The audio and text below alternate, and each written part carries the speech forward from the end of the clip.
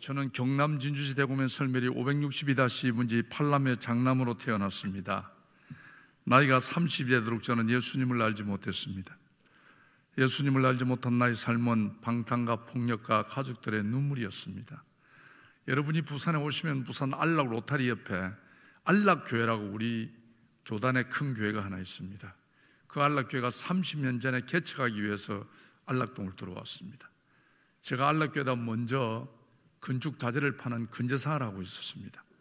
30년 전에는 다 논이었기 때문에 안락교회 건축을 하는 건축 자재를 실은 차가 바로 들어오지 못하고 우리 마당을 이용하면서 안락교회를 건축하기 시작했습니다.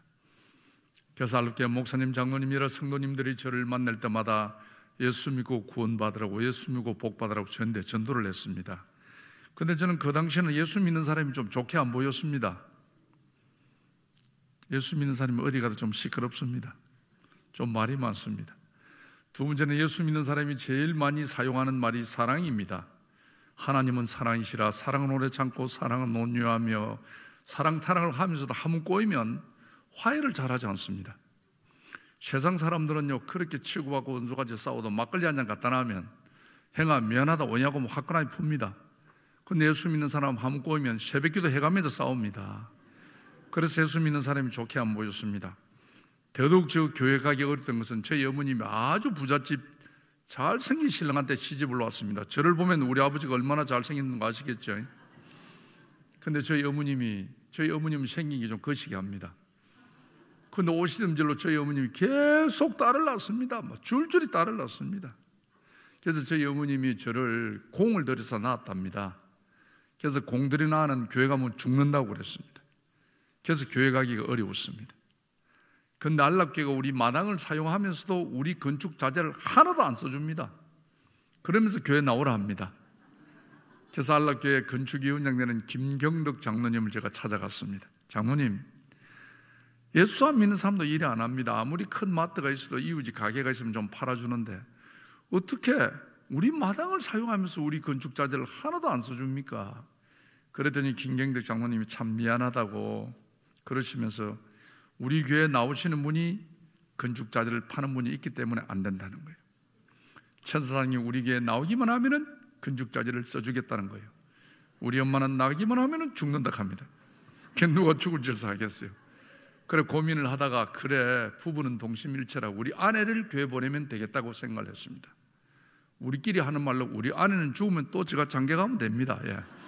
그래서 우리 아내를 교회 등록을 시켰습니다. 근데 그때부터 김경덕 장로님이 우리 건축 자재를 써주시는 거예요. 부산에 오시면은 여러분, 부산에 빨간백돌 교회가 많이 있었습니다. 거의가 김경덕 장로님이 다 건축한 겁니다. 제가 그분 따라다니면서 돈을 겁나게 많이 버렸습니다. 그래도 끝까지 교회 안 갔습니다. 무식한 사람들이 고집이 셉니다. 하나님은 말씀하십니다.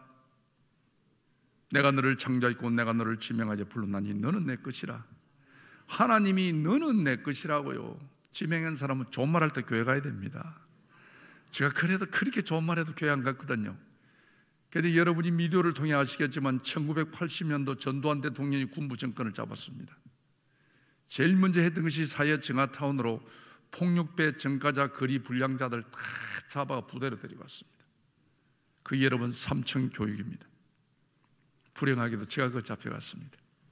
그 당시는 인권이 없었기 때문에 잡혀간 저희들은 꼼짝을 못했습니다. 완전 인간 쓰레기 취급을 당했습니다. 하루하루가 지옥이었습니다. 저희 아내가 안락교 정기문 목사님을 찾아가서 우리 애기 아빠 부대 잡혀갔다고 울고불고 하니까 정기문 목사님 저를 면회를 오신 거예요. 그 당시에는 인권이 없었기 때문에 일체 면회가 안 됩니다. 지금 생각해보면 하나님이 저 영혼을 불쌍히 여기셔서 정기봉 목사님 아드님이 청와대에 겁나게 좋은 자리에 있었습니다. 그 당시. 그래서 아드님한테 부탁해서 특별면을 오신 거예요. 그래서 우리 정기봉 목사님이 천사장 힘들지요 하는데 평소는 만날 때마다 교회 나오라 해서 참 귀찮았는데 그날따라 목사님이 오시는데 얼마나 반갑든지 눈물이 날 정도였습니다. 그래서 목사님 그러시는 거예요.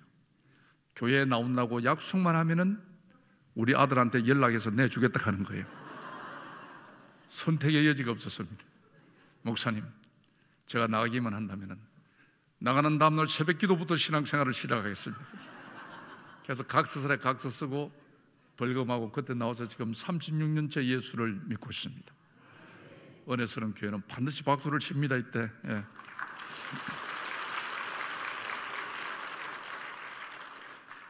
사랑하는 여러분, 저는 30년을 예수를 안 믿고 어둠에 살던 사람이었습니다.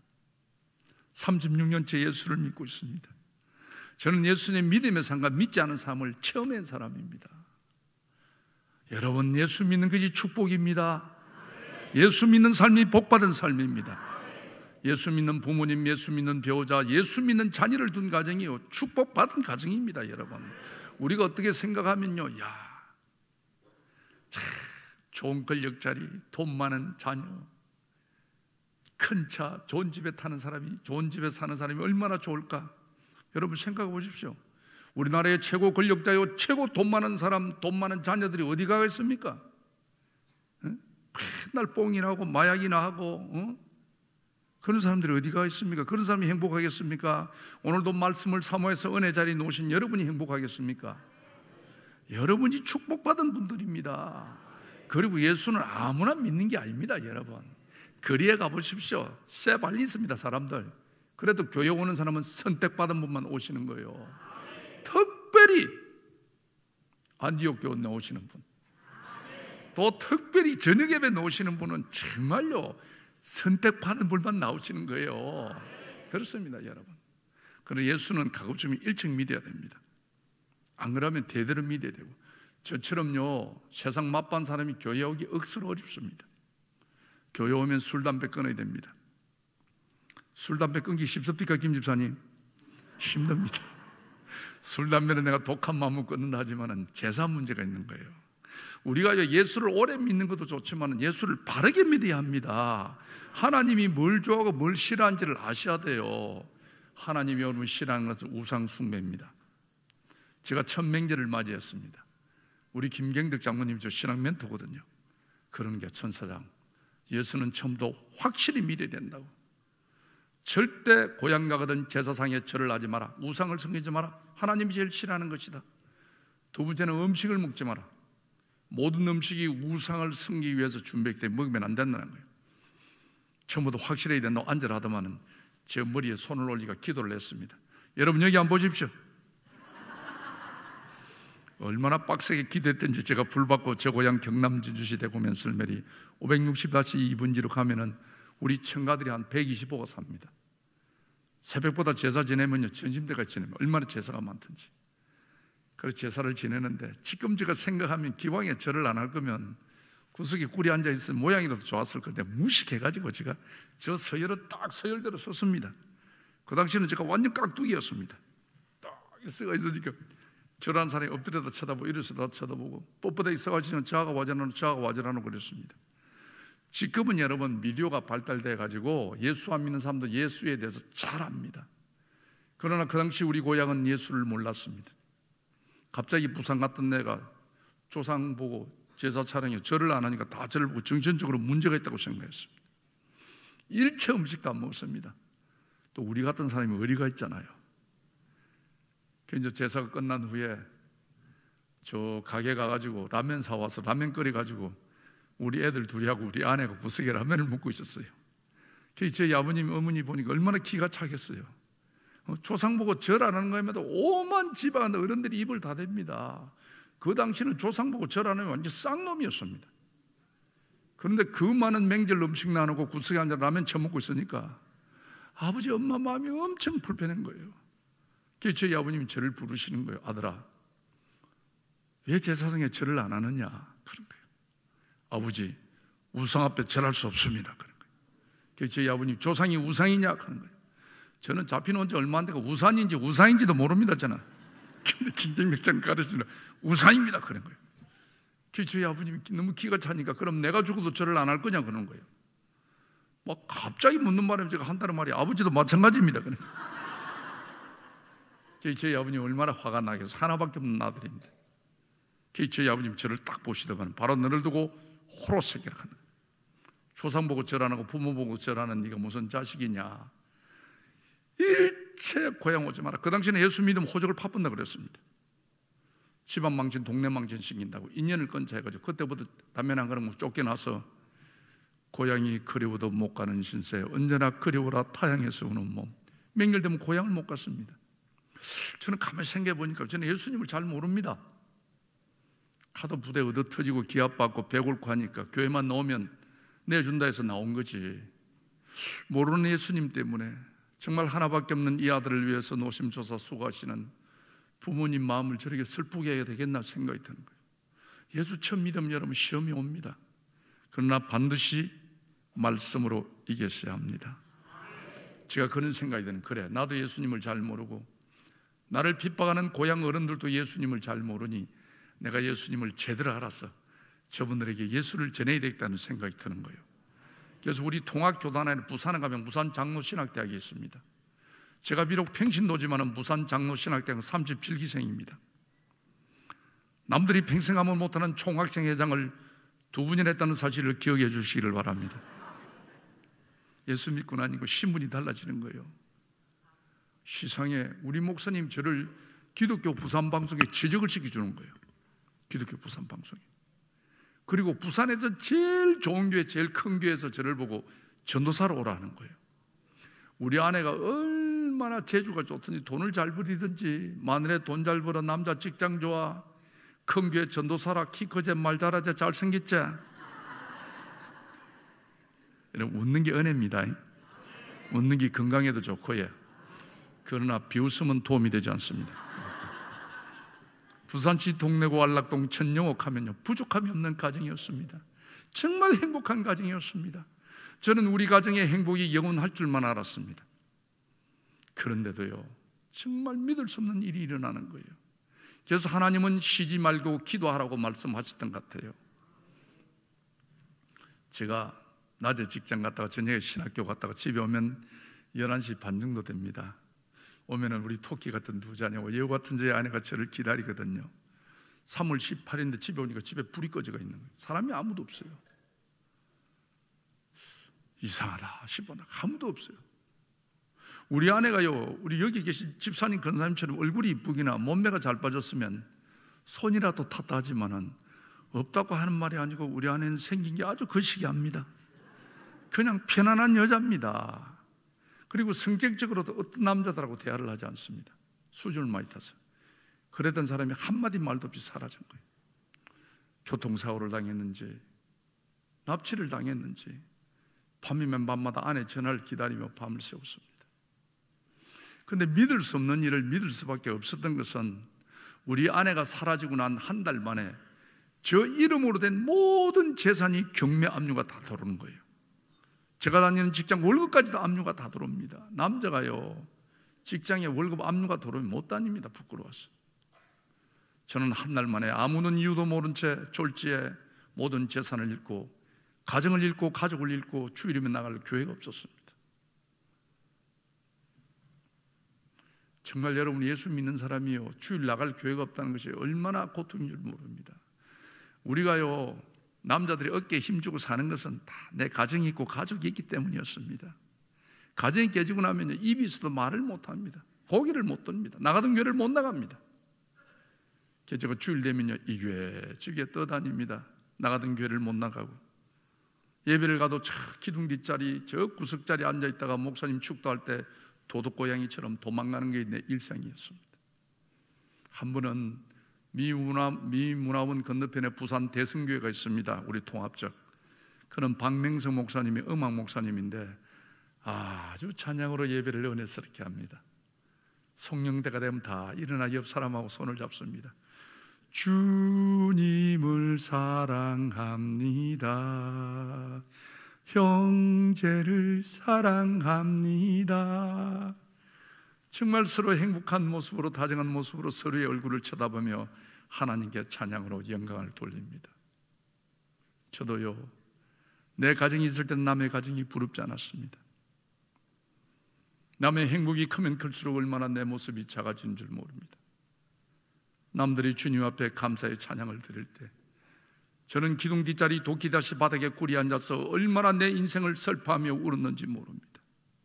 어쩌다가 나는 예수 믿고 가정을 잃었는지 가족끼리 예배 드리고 드리는 걸 보면 그렇게 부를 수가 없습니다. 어쩌다가 나는 이랬는지 매일 도둑고양이처럼 남의 교회 뒷자리에서 예배를 드린다는 내 삶이 너무 슬펐습니다. 그날도 한없이 울고 있었습니다. 그럴 때 강대상에 있던 십자가가 예수님의 모습으로 보이는 거예요. 예수님이여 흰 천을 입으시고 양팔을 벌리시고 그 다정하고 행복한 가정 달아놓고 오늘 밤에도 해지면 이 몸 하나 감출 것 없는 믿었던 나에 사랑했던 나에게 버림받았던 저를 찾아오시는 거예요. 그러면서 주님께서 영호야 내가 너를 안다 그러시는 거예요. 사랑하는 여러분 오늘 이 자리까지 오기까지 만약 행복했습니까? 실패 본 적은 없습니까? 여러분 실패하면 비참합니다.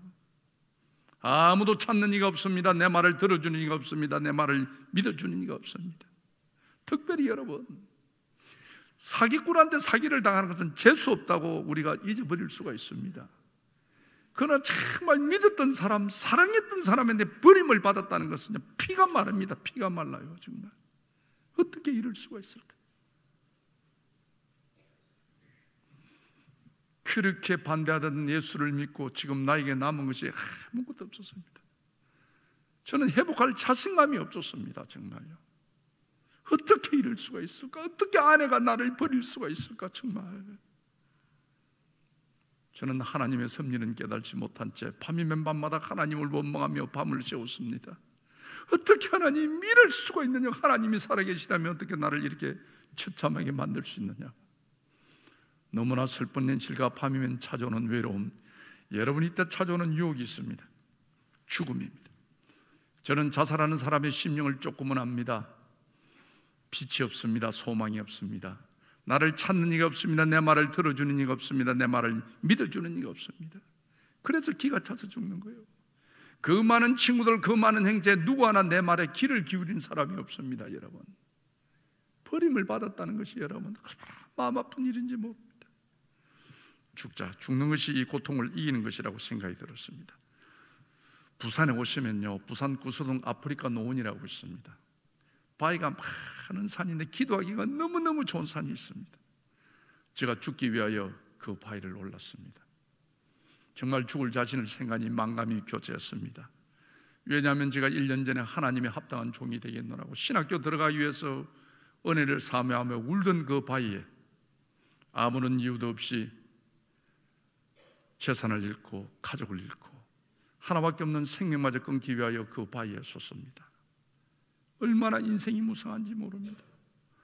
여러분 하나님은 말씀하고 있습니다. 시편은 말씀하고 있습니다. 우리 인생은 들의 풀과 같다고. 우리의 영화는 들의 꽃과 같다고 말씀하고 있습니다. 우리 인생은 아침에 이슬과도 같습니다. 하나님, 왜 나를 버리십니까? 왜 우리 가정을 버리십니까? 저는 이해가 안 갑니다. 이해가요. 그렇지 않습니까, 여러분? 우리가 어려움을 당할 때, 환란을 당할 때, 내가 죄를 지었거나, 내가 실수를 했거나, 내가 나쁜 짓을 했거나, 내가 남의 걸 탐욕했거나 할 때 받는다면은 아, 그럴 수 있다 하지만은 늦게라도 정말 바르게 살겠다고 신학 가서 전도사까지 하는 우리 가정의 아내를 통하여 이렇게 비참하게 재산을 잃고 가정을 잃었다는 것은 이해가 가지 않았습니다. 하나님 왜 나를 버리십니까? 왜 나를 버리십니까? 그렇게 수합니달라 가나를 삼천교까지 예수 믿겠으면 정말 인간적인 생각으로 하나님의 복을 위해서 하나님의 영광을 위해서라도 내삶 위에 복의 복을 다하여 주시고 하나님의 의로운 손으로 한란과 핍박을 막아 주셔야지. 어떻게 행복했던 내 가정을 이렇게도 처참하게 만들 수 있느냐? 누구한테도 제가 말을 할 수가 없었습니다. 부끄러웠어요. 정말 하나님은 살아계시느냐고? 정말 하나님은 살아계시느냐고 막상 죽으려고 생각하니까요. 제일 마음 아픈 것이 저희 어머님입니다. 참 하나밖에 없는 아들 사고 칠 때마다 그 피땀 흘려 모한 재산 논 팔아 밥 팔아서 합의 봐주시고 내 손을 잡고 영호야 이제 그만하라고 우시던 우리 엄마 제가 죽었다는 소식을 들으면 울음만은 살지 못합니다 저는 우리 엄마의 전부였습니다 그러나 그 엄마마저도 예수 믿는다는 이유로 저를 고향에 못 오게 합니다. 저를 만나주지 않습니다. 믿었던 나네, 사랑했던 나네마저도 내 인생을 짓밟고 떠났습니다. 살 이유가 없었습니다. 죽자. 죽는 것이 답이라고 생각이 들었습니다. 죽기 위해서 바위 끝에 섰습니다. 근데 갑자기 있는 생각이 드는 거예요. 신학생이 자살한다는 것이 너무 하나님한테 미안한 생각이 드는 거예요. 사랑하는 여러분, 우리의 생명은 하나님의 것입니다. 믿으시면 아멘. 그렇습니다. 어떤 이유든 자살하면 구원받지 못합니다. 우리의 생명은 우리의 주인은 하나님입니다. 제가 왜 모르겠습니까? 내 상황이 너무 힘들고 너무 우리 아내가 괘씸한 거예요. 걔 죽으려고 제가 바위에 뜨겠습니다. 하나님은 너무나 미안한 생각이 들어서 미안한 마음, 참여하는 마음으로 죽을 수밖에 없는 내 마음. 하나님한테 예배라도 하면 드리고 죽자고 제가 성경을 폈던 겁니다. 그 말씀이 오늘 본문 말씀입니다. 욥기 23장 10절 말씀. 나의 가는 길을 오직 그가 하시나니 그가 나를 단련하신 후에는 내가 증금처럼 나오리라. 다시 말하면 우리의 가는 길을 하나님만이 하시나니 하나님이 한란과 고난과 위기를 통해 우리를 좀 증금처럼 만들어 하나님의 복음의 증거자로 하나님이 사용하시는 사명자로 쓰시겠다는 말씀입니다. 하나님 노예 얼마나 급하셨던지 이 말씀이 비틀냅니다. 영호야, 내가 너를 버린 것이 아니라 내가 너를 정금처럼 단련하여 너 가문의 복음의 증거자로 너를 쓰겠노라. 이는 깨달음을 주시는 거예요. 그 빛이 저를 살렸으며 그 말씀이 오늘날 저를 장로로 세웠습니다. 한란 날에 나를 부르라 내가 너를 건지리니 너가 나를 영화롭게 하리라고 하나님은 오늘도 우리들에게 말씀하고 계십니다. 힘들고 올 때마다 주님 앞에 무릎을 꿇어야 합니다. 주님을 찾아야 합니다. 여러분 에스겔 16장 말씀을 보십시오. 사랑하는 내 딸아 사랑하는 내 아들아 피투성이라도 살아만 있으라고 하나님이 우리들에게 호소하고 있습니다. 어떤 어른과 곤란과 위기 속에서라도 포기하지 말라는 말씀입니다. 포기하지 않으면 우리의 갈 길을 인도해 주신다는 것입니다. 우리의 문제도 우리 자녀들의 미래도 하나님 손에 있음을 믿으시기를 바랍니다. 저는 그때 그 일을 통하여 2년 6개월 동안 노숙자를 했습니다. 비가 오면 피할 곳이 없었습니다. 해가 지면 이 몸 하나 감출 곳이 없었습니다. 내 인생을 짓밟은 우리 안에 박현정이를 용서하지 않으리라. 전국을 뒤지서라도 내가 너를 찾아내리라. 절대 용서하지 않으리라. 이를 갈며 밤을 세웠습니다. 제가 부산 시내 집회하는 교회는 다 찾아다녔거든요. 그래서 집회하는 교회 가서 뒷자리 딱 앉자 강사님이 그러시는 거예요. 혹시 이 중에 원수가 있습니까? 용서 못할 사람이 있습니까? 죽도록 미운 사람이 있습니까? 그러시는 거예요. 어떻게 강사님이 내 마음을 저렇게 하시노 싶어 제가 고개 숙이고 있었거든요. 강사님이 이런 말씀을 하십니다. 여러분은 바닷가에 가면 조개 껍질이 많이 있습니다. 왜 조개 껍질이 많이 있습니까? 태풍이 오면 태풍이 파도를 쳐서 파도가 모래를 일가가지고 그 모래가 조개에 상처를 준답니다. 그럼 모래 상처 때문에 조개가 다 죽고 만대요. 그러나 여러분 진주 목걸이를 만드는 진주 조개는 그렇지 않답니다. 조개가 입을 벌리고 있을 때 모래가 상처를 주면 자기 진액으로 모래를 한 겹두겹 감싼답니다. 그래서 빛난 진주가 된다는 것입니다. 내 영혼에 내 육신에 아픔 주는 모래 같은 사람을 용서하지 못하면 내가 죽고 만다는 것입니다. 그러나 나의 아픔을 주는 모래 같은 사람을 나의 사랑으로 그의 허물을 덮어주는 자는 빛난 진주처럼 빛난 인생을 산다는 것입니다. 그래서 그 목사님 말씀이 복음이 용서가 복음이요 복음이 용서라고 말씀하시는 거예요. 여러분 복음이 뭡니까? 예수님의 삶이 복음입니다. 예수님의 삶은 사랑과 용서였습니다. 우리가 지난주 고난 주간을 지냈죠. 예수님은 골고다 십자가에 물 한 방울 피 한 뿔을 흘리는 그 순간까지라도 아버지여 저들의 죄를 용서하도록 기도하신 분이 예수님의 삶입니다, 여러분. 우리가 하나님의 자녀 예수님의 제자라면 그분들의 삶을 따라야 하는 거예요. 우리가 늘 여러분 교회 오면 주기도문을 외웁니다. 주기도문을 보십시오, 여러분. 우리가 하나님께 우리 죄를 용서받기 위해서는 반드시 전제 조건이 행제의 잘못을 용서할 때 되어 있습니다. 행제 잘못을 용서하지 못하면 내 죄를 하나님께 용서받을 수 없다는 것입니다. 그래서 여러분 용서해야 된다는 거예요. 사랑의 완성은 용서라고 말씀하시는 거예요. 그렇습니다, 여러분. 사랑한다고 말하면서도 장거나 용서하지 못하는 것은 거짓말하는 겁니다, 여러분. 사랑하는 여러분, 우리가 요 재직기를 하거나 당회를 하거나 어떤 성가대나 교사의 모임을 할 때 의견이 달라서 마음 상할 때가 있습니다. 의견이 다른 것은 다를 뿐입니다, 여러분. 틀린 게 아닙니다. 근데 우리나라는 다르면 틀리다고 생각합니다. 그래서 마음이 상하는 거예요. 여러분, 혹 그런 행사를 통해 의견이 달라서 마음 상한 분이 있으면 반드시 용서하는 시간이 되시기를 바랍니다. 예수 믿는 사람은 용서하셔야 합니다. 사랑의 완성은 용서입니다. 제가 그날 밤에 그 강사님 말씀이 얼마나 어른스럽던지 문수 같은 아내를 용서하겠노라고 아멘 그랬습니다. 그리고 제가 보니까요 용서할 때 하나님이 내 기를, 기도를 들어주시는 것 같아요. 용서하지 않으면요 하나님이 기도 안 들어줍니다, 여러분. 예. 그래서 우리가 어떤 기도의 제목이 있을 때 반드시 내 죄를 먼저 회개하고 내가 남에게 잘못이 있는지 없는지를 용서할 때 하나님이 우리 기도 들어주시는 것 같아요. 그날 밤에 제가 아멘 하고 밤을 새웠습니다. 제가 부산 시내 1350개 집회하는 교회를 찾아다니는 이유는 말씀의 갈급함도 있지만은 저는 노숙자였기 때문에 잘 곳이 없었습니다. 집회의 말씀 듣고 기도한다는 맹문으로 남의 교회 뒷자리에서 자고 나가는 것이 저 일상이었습니다. 그날 밤에도 집회가 끝난 텅 빈 나무 교회 뒷자리에서 잠을 청합니다.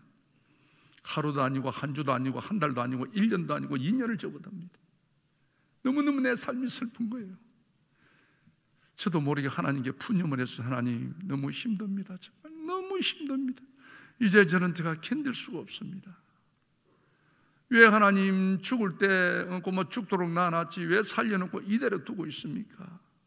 진짜 하나님 너무 힘듭니다. 내가 지쳤습니다. 정말 푸념을 하고 있을 때 하나님의 음성이 들리는 거예요.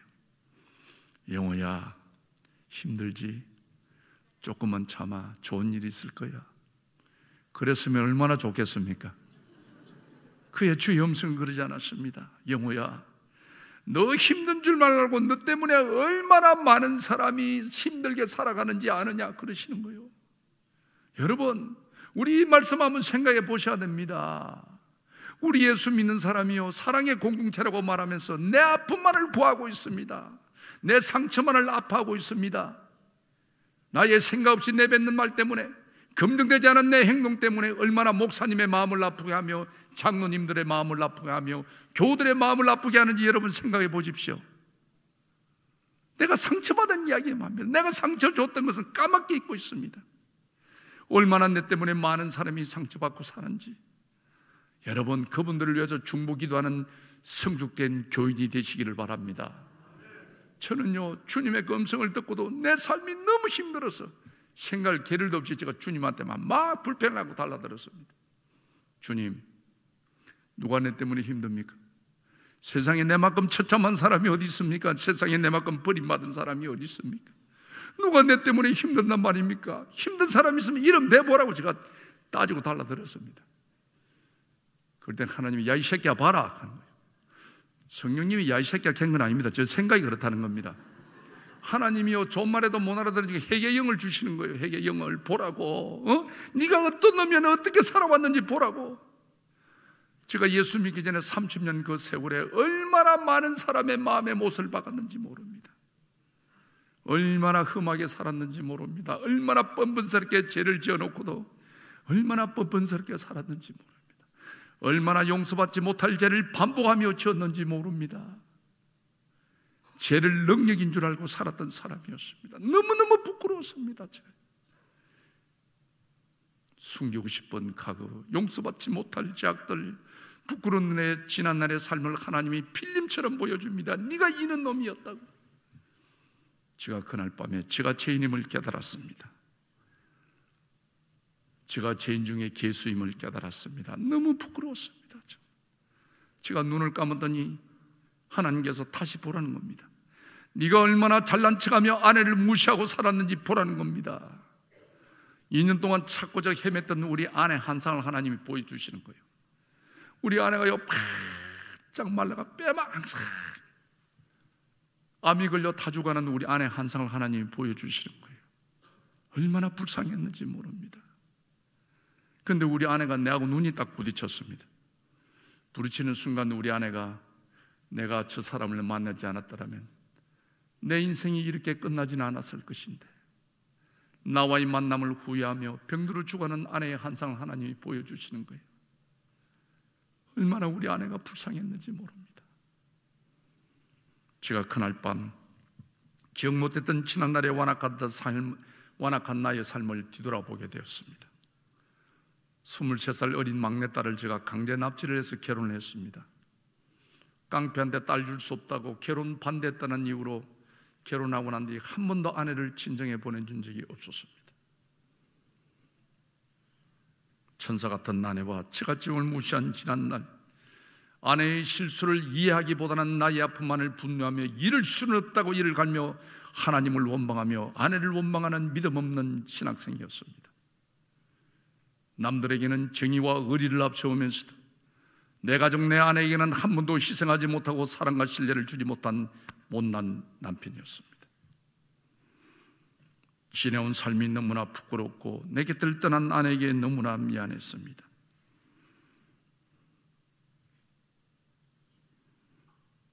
어쩌다가 내 인생이 이렇게 되었는지 모든 것을 다 잃고 난 후에야 가정의 소중함을 깨닫게 되었습니다. 돌이킬 수 없는 지난 날 망가진 나의 인생 저는 그때서 주님 앞에 무릎 꿇고 회개하기 시작했습니다. 하나님 이 어리석은 놈을 용서하소서 아내에게도 인정받지 못하는 형편없는 놈입니다. 성질 더러운 남편 잘못 만나 한 평생 숨죽이며 살아온 불쌍한 우리 아내 오죽 남편이 사랑이 없었으면 생명 같은 자녀를 두고 집을 나가면서 한 번쯤 남편에게 용서를 구하지 않았겠습니까? 하나님, 이대로 끝날 수는 없습니다. 불쌍한 우리 아내, 외롭게 살아온 우리 아내, 하나님, 살아서 만나게 해주십시오. 지난날의 아내의 아픔을 위로하고 싶습니다. 좋은 남편으로 살고 싶습니다. 하나님, 가정이 그립습니다. 가족이 그립습니다. 그 옛날처럼 아내와 아이들 한 상에 둘러앉아 따뜻한 밥 한 그릇 먹고 싶습니다. 모든 게 내 잘못입니다. 모든 게 내 탓입니다. 저는 지난날의 어리석은 나의 삶을 회개하면서 주님 앞에 아내를 만나기 위하여 눈물로 간구했습니다. 아내를 소중히 여기지 못하고 미워하며 원망했던 지난날의 삶을 도리어 아내에게 용서받고 싶었습니다. 저는 그때부터 아내를 만나기 위하여 하나님께 눈물로 호소했습니다. 하나님, 살아서 만나야 합니다. 이대로 아내를 보내고 나면 제가 살아갈 수가 없을 것 같아서 너무너무 내 죄가 커서 주님 앞에 한 6개월쯤 기도했을 때 2년 6개월 만에 우리 아내 전화가 왔습니다. 정말 연약한 목소리로 다 죽어가는 목소리로 아빠 제가 아빠라고 부를 자격 없는 여자입니다. 그런 아빠 내가 죽기 전에 아빠한테 용서받고 죽고 싶다고 아빠 염치 없지만 저를 좀 만나도록 하는 거예요. 그래 어디 있느냐니까 부산 보건병원에 있는데 제가 아빠 오늘 밤을 넘기지를 못합니다. 그래서 아빠 아빠한테 용서받고 죽고 싶습니다. 그렇게나 6개월 동안 아내를 만나기 위하여 하나님께 눈물로 기대했건만 하나님은 죽어가는 아내를 만나게 주었습니다. 부산 보건병원 가니까요. 아내를 보는 순간 6개월 전에 하나님이 보여주셨던 환상처럼 바짝 말라가 빼가 항상 복수만 차가지고요. 정말 꺼져가는 등불 같은 아내를 보면서 얼마나 울었는지 모릅니다. 하나님, 한 번만 살려주십시오. 이대로 보낼 수는 없습니다. 우리 아내가 너무 불쌍합니다. 너무 불쌍합니다. 하나님, 죽을 사람은 접니다. 하나님, 죄인은 접니다. 아내를 살기 위해서 하나님께 눈물로 강구했습니다. 근데 그렇게 기도했건만 아내를 만났는데 두 달 반 만에 결코 아내를 고치지 못하고 죽어가는 아내를 데리고 병원을 나오게 됐습니다. 병원에서도 더 이상 방법이 없습니다. 또 제가 노숙자였기 때문에 병원비를 정산하지 못했습니다. 그래서 병원에서 죽어가는 아내를 데리고 네 발로 기는 아내를 데리고 병원을 나와가 버섯 주차장에 갔는데 갈 데가 없는 거예요. 내 인생에서 제일 슬픈 날이 그 날입니다. 정말 죽어가는 아내를 네 발을 기는 아내를 데리고 주차장에 왔지만은 제가 갈 곳이 없는 거예요. 오란 데도 없었고 하루 일 어디를 갈까 어디를 갈까 너무 슬펐고 정말요. 해가 진 후에 아내를 데리고 5천짜리 여인숙을 갔습니다. 아내가 진통이 오면요. 연약한 두 손을 바닥바닥 흔들면서 소리 없이 눈물을 흘리는 거예요. 여러분, 우리 가족이 뭡니까? 배가 고프면 고프다고, 아프면 아프다고. 창피스러운 허물이지만 덮어주는 것이 가족이 아니겠습니까? 그런데도요, 우리 아내는 자기 잘못이 있기 때문에 그렇게 아파도 아프다 소리 않고 두 손을 발발 흔들며 눈물 흘리는 아내를 볼 때마다 너무 제가 마음이 아픈 거예요, 정말요. 저는 정말 괜찮은 남자라고 살았습니다, 그동안. 죽어가는 아내를 보면서요, 내가 할 수 있는 일이 아무것도 없었습니다, 정말. 내 발로 기면요, 배꼽이 나오고 쭉 끌려가는 거예요. 진짜 하루하루 죽어가는 아내를 보면서 얼마나 마음이 아팠는지 모릅니다. 아내가 힘들어 할 때마다 할 수 있는 방법 둘이 손을 잡고 같이 울니다. 서로의 아픔을 달래가면서 아빠 미안해요. 내가 좋은 아내가 되지 못했어. 늦게라도 아빠 마음 잡고 신학 가서 전도사까지 하는데 아빠 나를 잘못 만나서 너무 미안하다고 아빠. 아빠 나를 용서해도라고 그런 거예요. 아니야. 내가 잘못했어. 내가 당신한테 너무 잘못했어. 내가 나를 용서해줘. 나 너 보내지 않을 거야. 너 보내지 않을 거야. 손을 잡고 잠을 잡니다. 하나는 죽어가는 아내를 볼 때 너무너무 마음이 아픈 거예요. 정말 지난날에 미워하고 원망했던 만큼 아내가 불쌍했습니다. 아내가 잠이 들면요. 죽음 같아요. 숨을 쉬는지 안 쉬는 코에다 기를 대봅니다. 숨을 쉰다고 생각이 들면은 잡는 것을 확인하면은 여인수 화장실로 가서 사람들 시끄러울까 변기통에 머리를 묶고 하나님 한 번만 살려달라고 하나님 제가 2년 동안 노숙자로 찬잇을 맞으며 살아왔습니다 6개월 동안 아내를 만나기 위하여 주님 앞에 눈물로 기도했습니다 하나님 어떻게 하나님 죽어간 아내를 보도록 하십니까 하나님 이거는 아닙니다 이거는 아닙니다 하나님 하나님은 이렇게 잔혹한 분입니까 하나님 우리 안에 보낼 수 없습니다. 하나님. 보낼 수 없습니다. 한 번만 살려주십시오. 하나님, 우리 안을 살려주신다면 뒤돌아보지 않겠습니다.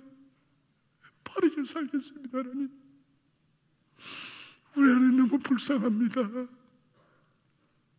저희 아내가 아빠, 울지 말라고. 나를 편하게 보내두라고. 아니야, 너가 못 보내, 내가. 아빠 회개하다 죽고 싶다고 기도원에 좀 데리더라 하는 거예요. 부산에 오면 여러분 김해무직산 기도원이 있습니다. 유일하게 지금도 차가 들어가지 않은 곳이 그곳입니다. 우리나라에서 네 발로 기는 아내를 데리고 무직산 기도원을 올랐습니다. 아내의 마지막 소원이었습니다. 그때 2년 6개월 동안 아무런 이유도 모른 채 헤어져 있던 우리 시골에 3학년 5학자리 우리 두 자녀도 데리고 왔습니다. 완전 우리 행정관들이 팔남매가 다 잘 삽니다. 그런데도요, 예수 믿는다는 이유로 하나도 그들도 보지 않습니다. 완전 고아입니다, 고아. 새카만 산거지입니다. 그러니까 2년 6개월 만에 엄마를 보는데 죽어가는 엄마를 봅니다. 내 발로 기는 엄마를 봅니다. 엄마도 2년 6개월 만에 그 보고 싶은 자녀들을 보는데 그리지 같은 자녀를 보는 죽어가는 엄마로 봐서는 얼마나 마음이 아프겠어요. 그 행복했던 우리 가정 본인의 실수를 통하여 서희가 응이 붙어서 통곡을 합니다. 애들이 우리 엄마 좀 살려두라고 하나님. 하, 제가 보니까 너무너무 내 신세가 불쌍한 거예요. 하나님, 우리야 죽을 수밖에 없다 하지만 우리의 죄를 통해서 저 어린애들 봐서도 하나님 한 번만 살려주십시오. 하나님, 꼭 데려가셔야 된다면 하나님 1년만 살려주십시오. 1년만 살려주신다면 1년만이라도 제가 지난날의 아내의 상처를 보듬어드리고 싶습니다. 1년만이라도 좋은 남편으로 살고 싶습니다. 우리 아내가 너무너무 불쌍했어요. 정말 그렇게 아프면서도 아프다 소리 하지 않고 이를 악물며 파들파들 떠는 아내를 볼 때마다 너무 불쌍했어요. 하나님, 1년만 살려주십시오.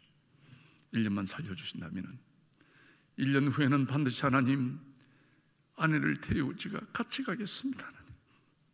아내만은 못 보냅니다. 하나님. 아내를 보내고 나면 제가 못 살 것 같았어요. 너무 아내가 불쌍해서 너무 내가 지난 날에 아내한테 완악하게 했기 때문에 하나님 아내만은 못 보냅니다. 하나님. 1년 후에 아내를 데리고 갈 테니까는 1년만 봐주십시오. 1년만. 3월 1일인데 기도원이 얼마나 춥든지 하룻밤 새고 난데 우리 아내가 더 뻗대지를 못합니다. 내려가자 하는 거예요. 아무는 기도 응답 없이 기도원을 또 내려갑니다. 자, 여러분 우리나라 하늘이 얼마나 맑아요. 어려운 일이 있어 보십시오. 옛날 어른들이 하시던 말처럼 하늘이 노랗습니다. 정말 제가 그랬습니다. 앞을 보면 상거지 같은 우리 두 자녀, 뒤로 돌아보면 거꾸로 네 발로 기어 내려오는 죽어가는 우리 아내. 어쩌다가 예수 믿고 망해도 이렇게 망할 수가 있을까 정말. 해도 해도 너무 하신다 생각이 드는 거예요. 제가 그랬습니다. 하늘을 향하여 예수 믿고 나만큼 망한 사람 있으면 나오보라고 그랬습니다. 재산 다 가지고 가, 가정 다 데리고 가. 그래가 내려오는데 어떤 뒤 청년이 따로 내려오는 거예요. 어떤 청년이 오면서 우리 아내를 보면서 집사님, 우리 어머님이 입이 돌아갔는데 아무 병은 아무 침술 아무 약을 써도 안 들어오는데 기도받고 입 돌아왔다고 그냥 가보시라는 거예요. 내가 너무 지쳐서 안 했습니다. 그 청년은 그냥 지나갔습니다. 지나가면서 바람결에 그 근사님 전화번호를 이야기하고 가는 거예요. 우린 다시 여인숙을 왔습니다. 또 하루 갑니다. 이틀 갑니다. 우리 안에 죽기만을 기다립니다. 여러분, 하루하루 죽어가는 사람하고 한 방에 같이 산다는 게 여러분 얼마나 고통인 줄 모릅니다. 정말요. 그 저희 아내가 아빠 그 청년이 말하는 건사님한테 기도 안 받으면 안 되겠느냐 하는 거예요. 단호하게 제가 안 된다 그랬습니다. 제가 신학생입니다. 하나님은 말씀을 통해 역사하시지 말씀을 통해 아픈 자 치료받은 자 하는 거지 어떤 권사님한테 인사받고 안 된다고 그랬습니다. 그랬더니 한 이틀이다 다시 말합니다. 아빠 내가 낫기 위해서 기도 받고 싶은 게 아니고 고통 없이 죽고 싶다 하는 거예요. 죽기 위해서 기도 받고 싶다는 거예요. 정말 마음이 아팠습니다. 죽기 위해서 기도받는 사람이 세상에 어디 있겠습니까? 얼마나 고통스러우면 그래서 정말 아내를 이대로 보낼 수가 없다 싶어서 제가 그 청년이 그 말했던 전화번호가 기억이 나는 거예요. 그래서 전화하니까 그 권사님이 계셔요. 그리고 우리 아내를 데리고 권사님 집을 갔습니다. 그래 권사님 아빠는 저는 밖에 있었더니 권사님 저를 부르시는 거예요. 뭐 하는 사람이냐고. 그래서 제가 신학생이라 그랬더만은 권사님이 저를 딱 정색을 합니다. 어떻게 신학생이 하나님의 살아계심을 믿지 못하느냐고. 믿지 못하는 사람이 왜 죽어는 아내를 데리고 우리 가정에 왔느냐 하는 거예요. 제가 말이 신학생이 저도 나이롱이었습니다. 늘 기도할 때마다 하나님을 원망했습니다. 어떻게 이럴 수가 있느냐고. 그래서 우리 아내 옆에 오라 하는 거예요. 그래서 저희 아내 옆에 꿀이 앉았습니다. 그리고 우리 안에 눕고 우리 안에 배꼽이 막 올라왔는데 배꼽 올라오는데 근사님이 손을 올리시는 거예요. 우리 박 목사님도 기도 많이 하시는 분입니다. 여러분 기도 많이 하시는 목사님을 만나야 복 받는 거예요. 우리 육안으로는 우리 미래를 볼 수 없습니다. 우리나라의 미래도 볼 수 없습니다. 그러나 기도하시는 분은 다 보입니다. 그게 우리 안에 배꼽 위에 딱 근사님 손 올리시면 하나님의 살아계심을 보리라. 하나님의 선하심을 보리라. 예수 이름으로 맹하노 일어날지어다! 한 거예요. 여러분 제가요 신학생 아닙니까? 우리가요 저녁에 예배 놓을 정도 되면은 성경을 통해서 홍해를 가르치고 반석에 물을 나게 하시며 죽었던 나사로를 살리셨던 하나님의 이적과 기적을 성경을 통해 모르는 분은 없습니다. 그렇지야. 그래도 그 일이 현실적으로 지금 이 시대에 일어날 거라고 믿는 사람이 몇 프로나 됩니까? 저는 믿지 않았습니다. 신학생이었지만. 이스라엘의 역사요 하나님의 발자취라고 생각했던 사람이었습니다. 그런데도 그 근사님이 우리 안에 배꼽 위에 손열리가 기도하는데 그 2년 동안 치료하지 못했던 그 가남의 복수가 그날 그 자리 다 터지는 거예요. 제가요 제가 그 있길 있기 전만 해도 늘 하나님을 원망했다. 하나님이 살아계신다면 어떻게 우리 가정을 어떻게 우리 아내를 잃을 수가 있느냐고 원망했던 사람이었습니다. 그러나 저는 믿을 수 없는 현실 앞에 무릎 꿇고 눈물 콧물 흘리며 하나님께 고백했습니다. 하나님은 살아계십니다. 하나님은 살아계십니다. 많은 축복 속에서도 하나님의 살아계심을 믿지 못한 이 믿음 없는 죄인을 용서하소서. 얼마나 하나님께 제가 기도했는지 모릅니다. 얼마나 부끄러운지 모릅니다. 저 나름대로 산다고 쇠가 빠지 남에게 거짓말하고 사기치고 어? 일이 했지만은 비참하게 실패한 나의 인생이었습니다. 귀하게 선택받았으나 하나님께 쓰임받지 못하는 부끄러운 인생이었습니다. 하나님, 이제 남은 인생 정말 하나님의 말씀대로 살겠습니다. 하나님 약속대로 살겠습니다. 하나님 자랑하며 살겠습니다. 저는 주님 앞에 결단했습니다. 사랑하는 여러분, 은혜가 될 때 반드시 결단을 하셔야 됩니다. 그래 열매를 맺을 수가 있습니다. 저는요, 다 잃었습니다. 가진 게 없었습니다. 지금도 하나님의 은혜로 복수는 저있지만 병든 아내와 그리 같은 두 자녀와 4만 5천짜리 월세집을 살고 있었습니다. 저는 하나님께 정말 복을 그리워했습니다. 그리고 우리 가족은 다시 시작했습니다. 부산시 남구 썩은다리 철도부지 무같이 부산 시민회관 건너편이 지금도 부산에서 제일 월세집이 싼 데입니다. 4만 5천짜리 월세집에 갔습니다. 산지 보르고 카포트 뻔한 집. 남들 보면 가구도 전화도 하나 없는 거지 음악 같은 집이었습니다. 그러나 2년 6개월 만에 만난 우리 가족은 주밖에는 우리의 복이 없음을 고백하면서 아침마다 가정 예배를 드리며 하나님께 눈물로 감사했습니다. 여러분 가족이 함께 산다는 것이 감사한지 모릅니다, 여러분. 저는 가정을 아무리 잃었던 사람이었습니다. 얼마나 가족이 소중한 줄 모릅니다. 얼마나 아내가 소중한 줄 모릅니다. 여러분 가정을 소중히 여기시는 여러분의 삶이 되시기를 바랍니다. 예수를 믿고도 거듭나지 못한 나이에 하나님은 갈라디아서 2장 20절 말씀을 통하여 큰 깨달음을 주었습니다. 이제 내가 그리스도와 함께 십자가에 못 박혔나니 그러적 이제는 내가 사는 것이 아니 오직 나의 그리스도께서 사시는 것이라. 그렇습니다, 여러분.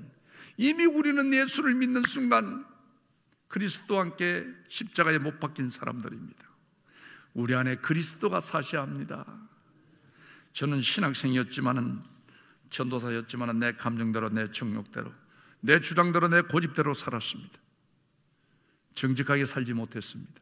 남의 것 탐함에 살았습니다. 하나님은 말씀합니다.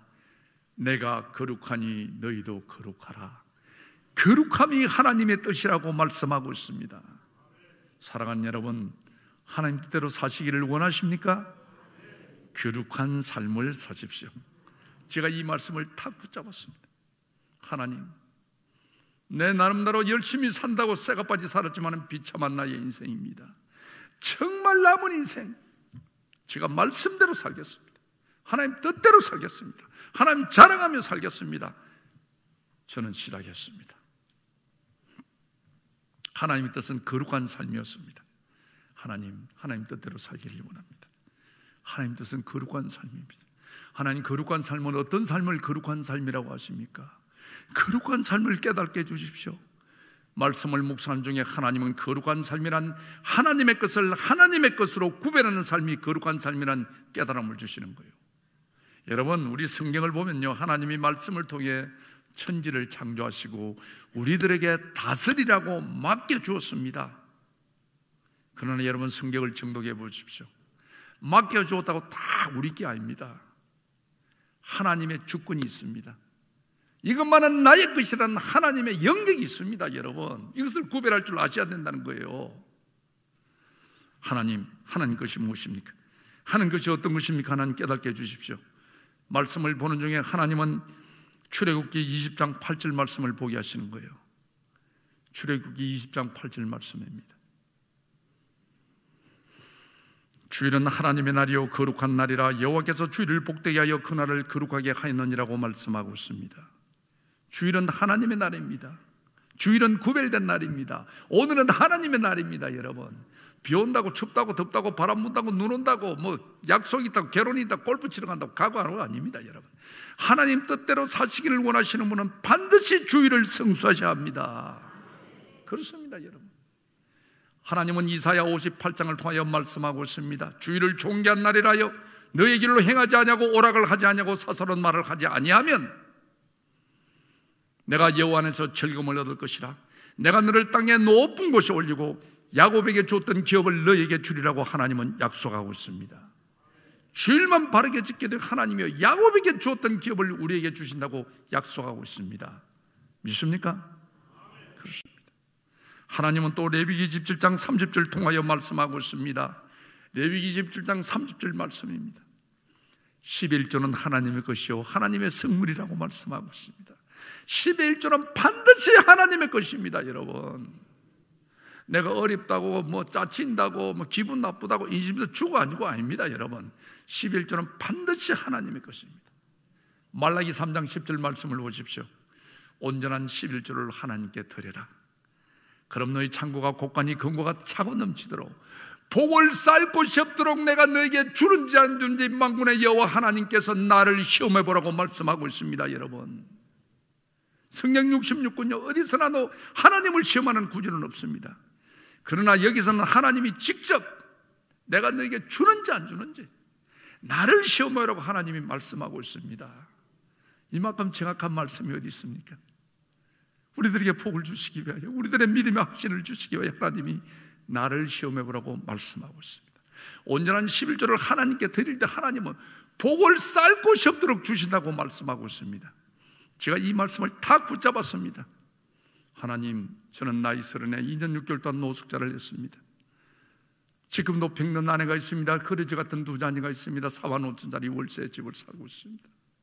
저는 복받아야 합니다. 저는 축복받아야 합니다. 우리 예수 믿는 사람이요. 기복 사상이 아니고 반드시 축복받아야 합니다. 그래야 우리가 요 이웃 행제를 섬길 수 있고 나눌 수 있는 거예요. 줄 게 없으면 어떻게 하겠어요? 저는 그랬어요. 성경에 복이라는 구절은 언더라인을 다 쳤습니다. 복이 그리웠어. 내가 실수를 해서 내가 죄를 지어서 내가 징계를 받아서 내가 배를 굴고 무시당하는 것은 당연하다지만은 나 때문에 애비 잘못 잘못 맞는 탓으로 내 자녀가 배를 굴고 내 자녀가 무시당한다는 것은 아버지로서는 볼 수가 없는 거예요. 정말 어린 자녀가 여러분 눈물의 빵을 먹는다는 것 여러분 경험해 보셨습니까? 하나님 저는 복 받아야 합니다. 복이 언더라인을 다 쳤습니다. 복구제를 하면 생명이고 제가 12조까지 했습니다. 왜? 믿음은 바란 것들의 실상이요 보지 못하는 것들의 증거라고 말씀하고 있습니다. 내가 하나님께 믿음대로 드릴 때 하나님은 반드시 내 믿음대로 채워 주시는 확신을 가졌습니다.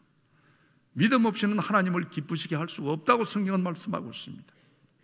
그리고 여러분, 헌금을 하나님께 드릴 때요. 하나님은 말씀합니다. 우리 마음을 아시고 하나님이 우리를 창조하신 분이기 때문에 우리 심리를 왜 모르겠습니까? 헌금을 드릴 때 절대 인색함으로 드리기나 억지로 드리지 말라고 말씀하고 있습니다. 기쁘게 드린 자를 내가 사랑한다고 말씀하고 있습니다. 기부하게 헌금 드릴 때 여러분 하나님 저 형편하시지요. 주실 줄 믿습니다. 말씀대로 주실 줄 믿습니다 하고 여러분 기쁨을 하나님께 드릴 때 하나님이 우리를 사랑하시는 거예요. 저는 정말요 하나님이 많은 것을 원하지 않습니다. 하나님은 정성된 약속의 예물을 원하시는 거예요. 저는 철저했습니다. 성경을 보십시오, 여러분. 복의 구절이 많이 나옵니다. 그 주구절에서 정확한 말이 있습니다. 시편 1편입니다. 복 있는 사람은 복 받는 사람은 딱 나고 있습니다. 어떻게? 아인들의 길을 따르지 아니하며 죄인들의 길에 서지 아니하며 오만한 자리에 앉지 아니하고 오직 여호와의 율법을 즐거워하여 그 말씀을 주하러 묵상하는 자로다 되어 있습니다. 복 있는 자는 주의 말씀을 묵상하는 자입니다. 그러나 묵상하기 전에 반드시 전제 조건이 여러분 악인들의 길을 따르지 아니하며 죄인들의 길에 서지 아니하며 오만한 자리에 앉지 아니하고 되어 있습니다. 전제 조건이. 그게 뭐냐? 복 받는 사람은 자리가 중요하다는 겁니다. 자리가. 여러분, 아담과 하와가 창세기에 선악과를 따먹고 하나님의 얼굴을 피하고 있습니다. 그때 여호와 하나님께서 아담을 찾아갑니다. 아담아 부릅니다. 제일 먼저 무슨 말을 했을까요? 누가 사과를 많이 묻노? 사과 맛있더나? 이 소리 안 물었습니다. 아담아, 내가 어디 있느냐? 묻고 있습니다. 네가 지금도 어느 자리에 있느냐? 죄인의 자리에 있느냐? 악인의 자리에 있느냐? 오만한 자리에 있느냐? 오늘도 음란한 자리에 있느냐? 술집에 있느냐? 하나님은 묻고 계십니다, 여러분. 복받은 사람은요, 자리가 중요하다는 겁니다. 하나님이요, 하나하나 저희들 말씀으로 보여주시는 거예요. 복받는 사람은 믿음의 자리에 있어야 합니다. 말씀의 자리에 있어야 합니다. 은혜의 자리에 있어야 합니다. 의인들의 해중에 있어야 합니다. 그래야 복 받는 거예요. 신명기 28장 1절과 6절 말씀을 보십시오, 여러분. 여호와의 말을 지켜 행하면 내 하나님 여호와께서 너를 세계 모든 민족 위에 뛰어나게 하실 것이라. 하나님의 말씀을 청정하면 내가 너에게 복이 많으니 너희가 성읍에서도 덜에서도 자녀와 토지와 짐승 새끼와 강주리와 떡반죽이 복을 받고 들어가도 복을 받고 나가도 복을 받을 것이라고 하나님은 말씀하고 있습니다. 우리가요 구원은 믿음으로 받습니다. 주 예수 그리스도를 나의 구주로 영접하면 구원받을 수 있습니다. 그러나 여러분 축복은요 믿음에 반드시 행위가 삶이 결단이 따라야 합니다. 신명기 말씀 보십시오. 여호와의 말을 지켜 행할 때라고 되어 있습니다. 여호와의 여호와의 말을 지켜 행할 때 내가 너를 유명한 사람으로 똑똑한 사람으로 귀한 사람으로 만들어 주리라.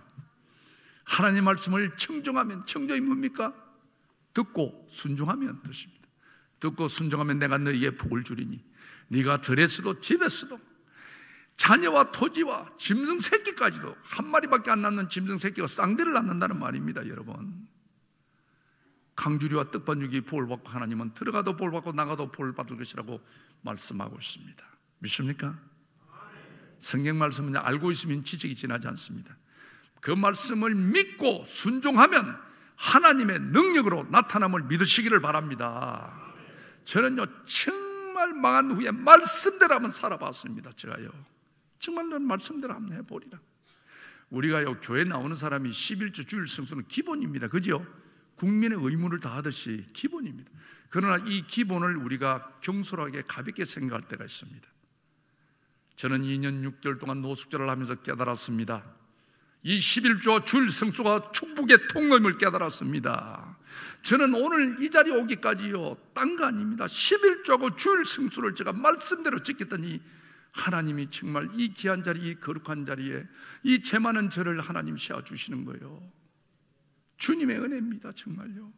하나님 손에 붙들리기만 하면 하나님은요, 지역을 묻지 않습니다. 가문을 묻지 않습니다. 학력을 묻지 않습니다. 키를 묻지 않습니다. 얼굴을 묻지 않습니다.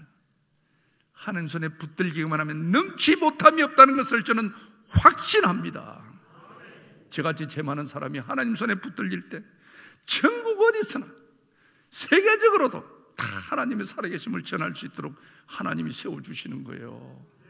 정말 하나님의 은혜가 아니면 하나님의 긍휼이 아니면 어떻게 제가 감히 여러분 앞에 살아계신 하나님을 전할 수 있겠습니까? 우리의 하나님만이 할 수 있습니다. 여러분, 우리가요, 우리의 축복이, 우리의 치유가, 우리의 삶이 다 성령에 다 있습니다, 여러분. 괜히 세상 거 뭐 복받을 거 허덕거리지 말고요. 한땅 잡을 거라 하지 마시고, 말씀대로 살아보십시오, 정말요. 다 길이 있습니다. 주님은 우리의 주인입니다. 주님은 우리의 주군입니다. 주님은 우리 인생의 안내자입니다. 내가 이 고백이 확실히 딱 바뀌고 나니까요. 주님이 딱 잡아주시는 거예요. 저는 그동안 주군을 만나지 못해서 얼마나 내가 세상을 비난하며 30년 동안 막 살았는지 모릅니다. 저는 전국 체전을 나갔지만은 금메달 따지 못하는 바람에 나를 키워주고 나를 인정해 주는 사람이 없었어요. 프로로 나갔는데도. 저는 그랬습니다. 내가 정주영 같은 사람을 만났으면 이명박 같은 대통령이 될 수 있다고 생각했던 사람입니다.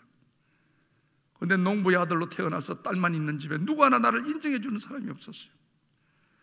역시 우리나라는 흑수저는 흑수저로 살아야 되는구나. 그래 세상 비관하며 어둠의 산을 어둠의 삶을 30년을 살았던 사람입니다.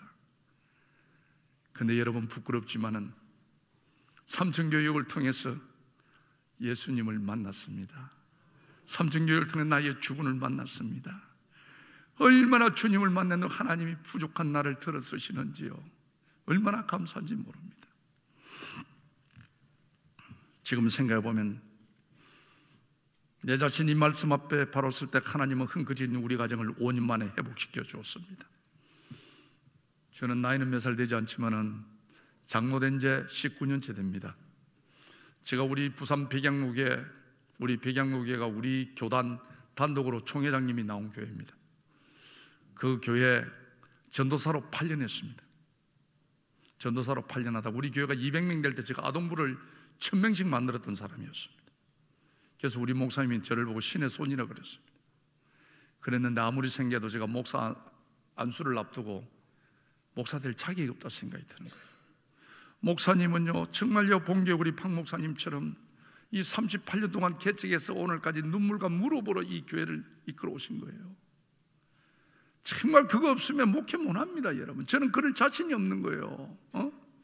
나는 30년 동안 온갖 죄를 다 지어놓고 교인들 앞에서 바르게 살아갔고 나는 이리 말할 자신이 없었어요. 정말.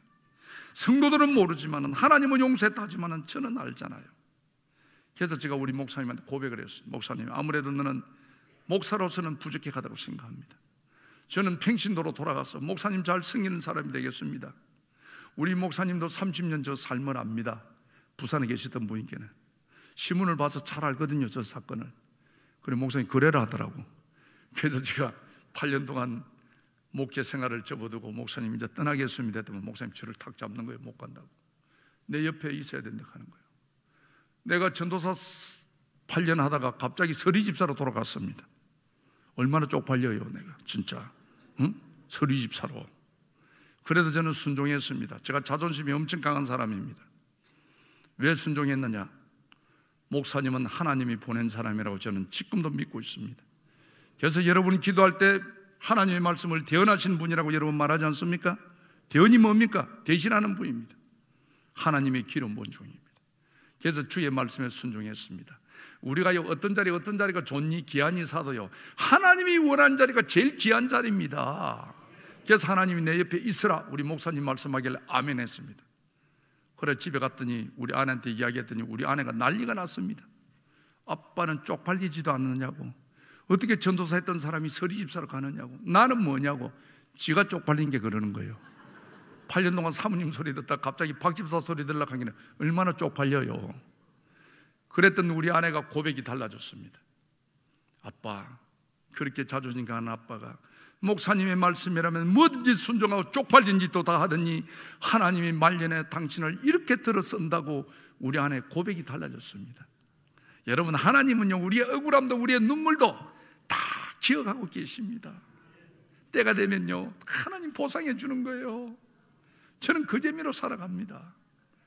그래 우리에게 장로 투표가 있었습니다. 여러분 장로님을 존경해야 됩니다. 아무나 장로 되는 거 아닙니다, 여러분. 장로가 국회의원 되기보다 더 힘듭니다. 국회의원들은요 상대보다 한 표만 더 받아도 되지만은 장로님들은요 모인 재직의 3분의 2 이상 표를 받는다는 것은 아무나 하는 게 아닙니다, 여러분. 표만 받아가 됩니까? 무릎으로 눈물로 물질로 시간으로 몸으로 그 충성해야 되는 거예요. 왜 여러분 하나님이 장로로 한수 집사로 근사로 집사로 직분 줍니까? 폼 잡으라고요, 계급이라고, 명예라고, 근하이라고 그러지 않습니다, 여러분. 목사님 중심으로 헌신하고 충성하라고 주시는 거예요. 그래서 여러분 장로는 안수 집사한테 져야 됩니다. 안수 집사는 서리 집사한테 져야 됩니다. 근사님한테 져야 됩니다. 죽으라고 주는 거예요. 먼저 죽으라고 그게요. 내가 살면 난 예수님이 죽습니다. 내가 죽어야 예수님이 사는 거예요. 교회는 내 목소리가 크면 안 돼요. 목사님 중심으로 여러분 헌신하라고 주는 직분인 줄 아시고 충성하시기를 바랍니다. 우리에게 투표가 있는데요. 우리에게도 장로를 잘 안 뽑아줘요. 우리에게는 한 3천 명 정도 모입니다. 그래서 오전에 투표하고 오후에 예배 갔더니 투표 이윤이 그런 거예요. 나를 보고 집사님이 1등으로 장로 됐다 하는 거예요. 별로 놀래도 안 하네. 다 1등으로 되는 모양이네.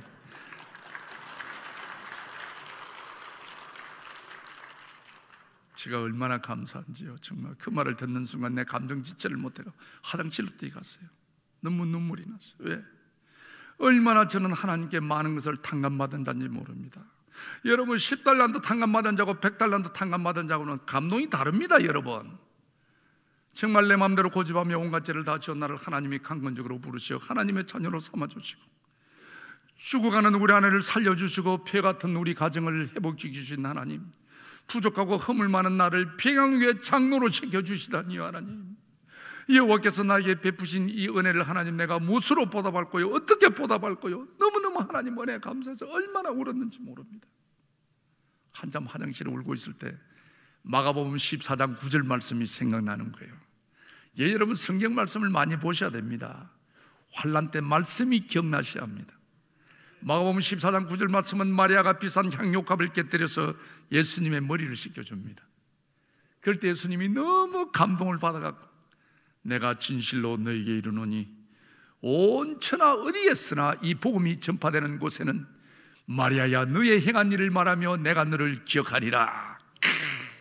얼마나 멋있어요. 우리 삶을 주님이 기억한다는 게 얼마나 감사한 일입니까? 우리 예수 믿는 사람이요 직분도 중요하고 예수를 믿은 연도도 중요합니다. 그러나 그보다 더 기본적인 것은 살아계신 하나님을 믿으셔야 합니다 오늘 이 시간도 우리의 기도를 들으시며 우리의 눈물을 기억하시며 우리의 작은 신음에도 응답하시는 살아계신 하나님을 믿으셔야 합니다 오늘 이 시간에도 불꽃 같은 눈으로 우리의 심령을 감찰하시는 살아계신 하나님을 믿으셔야 돼요 오늘도 하나님이 우리의 삶을 보신다면 우리가 어떻게 나쁜 짓 하겠어요? 그렇지 않습니까? 어떻게 우리가 남의 말 하겠어요? 그렇습니다. 다음엔요 예수님이 기억되는 삶을 사셔야 돼요. 이 마리아처럼 우리는 언젠가 하나님 앞에 가야 합니다. 널 위하여 몸을 줬구만 날 위하여 무엇하였느냐고 물으실 때 여러분은 뭐라고 대답하시겠습니까? 예수님이 기억되는 삶을 사셔야 합니다. 이 마리아처럼 제가 이 말씀을 딱 붙잡고 도전을 했습니다. 하나님 저도 마리아처럼 도전하고 싶습니다. 이천 영혼을 기억해 주십시오. 어떻게 하면 기억될까요? 그 많은 선지자 중에서 여러분 이 마리아처럼 내가 너를 기억하리나? 내가 너를 말해라 큰 구절은 이 구절밖에 없습니다.